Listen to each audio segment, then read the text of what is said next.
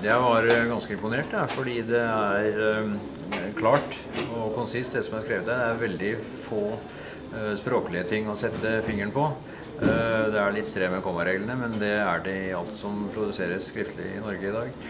Eh, det er gode ingresser, gode sammenfatninger, og jeg syns det er ganske, ganske imponerende det dere, dere får til. Så for meg skal dere gjerne få, få all den ros dere trenger, og kanskje vel så det.